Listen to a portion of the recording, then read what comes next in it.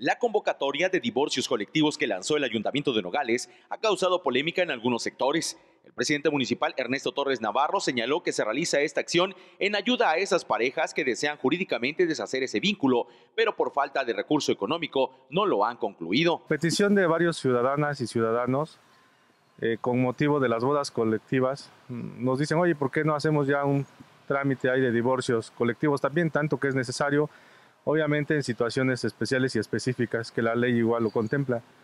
Y pues decidimos darle para adelante, apoyar a esas personas y hasta ahorita ha habido muy buena aceptación por parte de los ciudadanos. Y una de las cosas que le estamos pidiendo a los ciudadanos que están acercando es una que no haya disputa sobre los bienes, que no haya ninguna controversia sobre la guarda y custodia y sobre todo también en el tema de los bienes en materia de matrimonio, pues que no exista controversia con ellos. Además comentó que ante la polémica es el primer municipio en la entidad veracruzana en realizar este tipo de campañas, por lo que se busca es ayudar a las parejas. Ha causado mucha polémica, pero sobre todo ha causado mucha conciencia en la ciudadanía.